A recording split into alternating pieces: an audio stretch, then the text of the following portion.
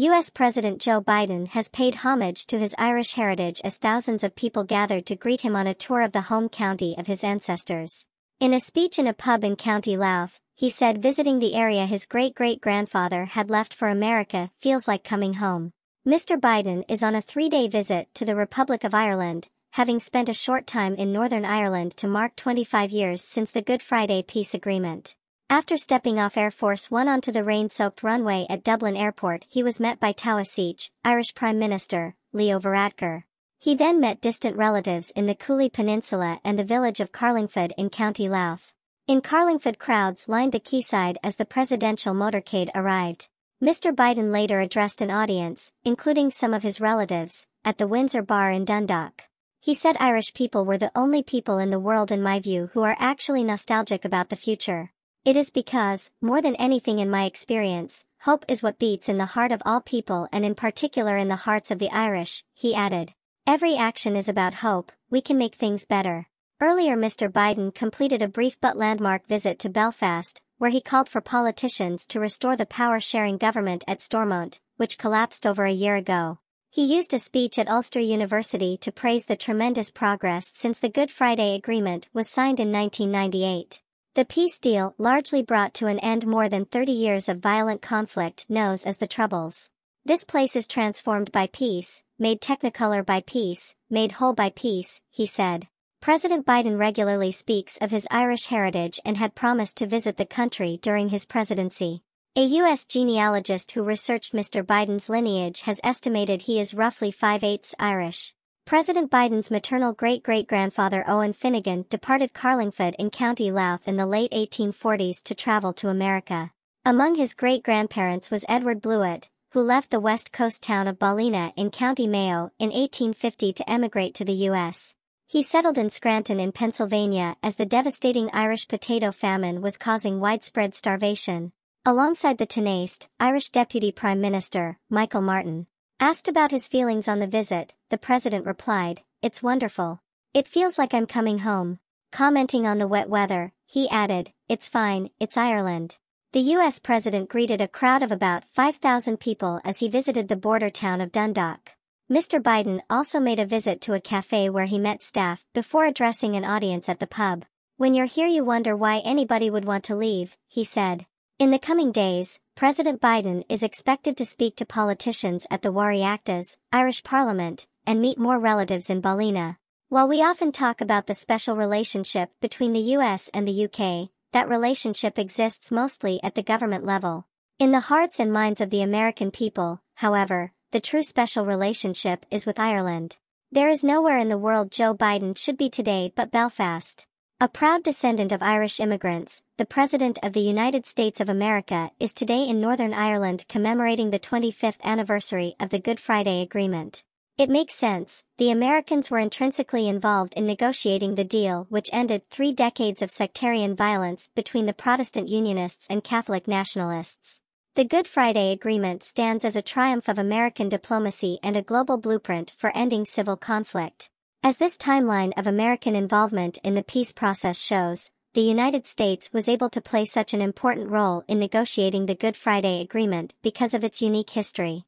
Many of the key instigators of American involvement in Northern Ireland were Irish Americans themselves, from House Speaker Tip O'Neill in the 1980s to President Bill Clinton in the 1990s, who famously granted a 48-hour visa to Sinn Féin leader Gerry Adams, a watershed moment that kick-started the peace process. This should be no surprise. While we often talk about the special relationship between the US and the UK, that relationship exists mostly at the government level. In the hearts and minds of the American people, however, the true special relationship is with Ireland. To understand why, one must understand American demographics and American history. A nation which broke from Britain in the 18th century only to become its staunchest ally in the 20th, we are also a nation in which 31.5 million citizens claim Irish ancestry. That is a population nearly seven times that of Ireland itself, accounting for one in ten Americans, living in every county of the United States. Beyond that, though, exists a kinship that many Americans feel with the Republic by dint of our parallel histories. Both Ireland and the United States are erstwhile colonies of the United Kingdom. As I have previously written, we have Lexington and Concord, the Irish have the Easter Rising. We have our Revolutionary War, Ireland has its War for Independence. We have George Washington, the Irish have Michael Collins. In the 19th century, immigration to America from what is today the Republic of Ireland proliferated, thanks in large part to the oppressive laws instituted by the British and, of course, the potato famine. Sadly, the Irish did not find a warm welcome in the United States, though.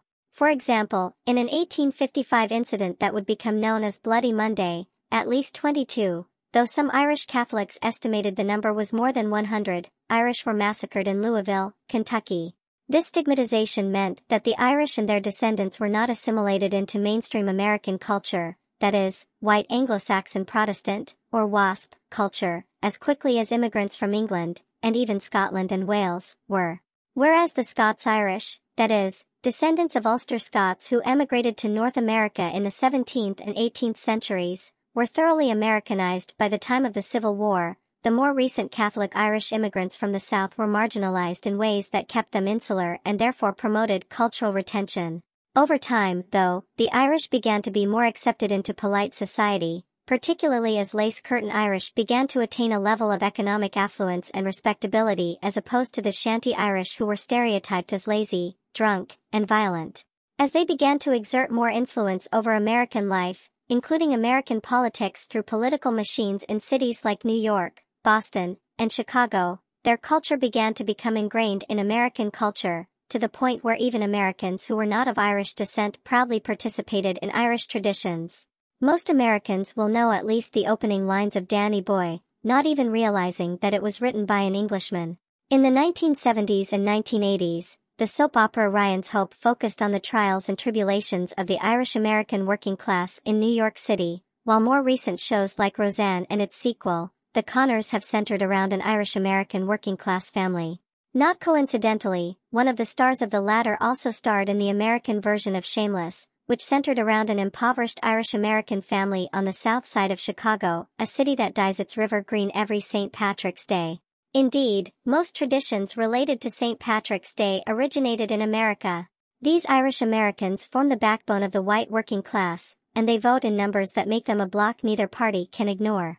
There is a reason politicians and presidents of both parties have felt a vested interest in not only courting Irish voters but also promoting peace in Northern Ireland. The affinity the American people feel towards the Republic transcends party lines. It is a kinship forged by shared blood but also shared struggles for independence and self-determination against the British. Some even see the British as an occupying force, one friend's mother has a bumper sticker on her car that reads 26 plus 6 is equal to 1, a not so subtle indication that she supports the six counties of Northern Ireland uniting with the 26 counties of the Republic. This is all worth remembering as President Biden visits Belfast today.